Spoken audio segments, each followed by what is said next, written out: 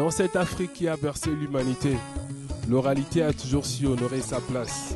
Les enfants naissent et s'émancipent au milieu de ces diversités, même si chaque année les repères s'effacent. Nous voici sur le chemin d'un plaidoyer, un long périple en cinq nouvelles qui nous amène à la découverte de la chèvre de ma grand-mère. Un hommage à la tradition qui nous aidera à mieux respecter les animaux, j'en ai la conviction. C'est dans la mangrove équatoriale que l'auteur a vu le jour, pour entretenir ce lien sacré avec la nature qui l'inspire toujours.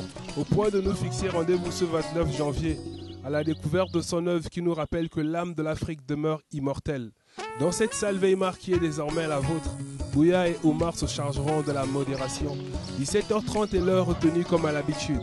Alors mesdames, messieurs, soyez les bienvenus au cœur de la littérature.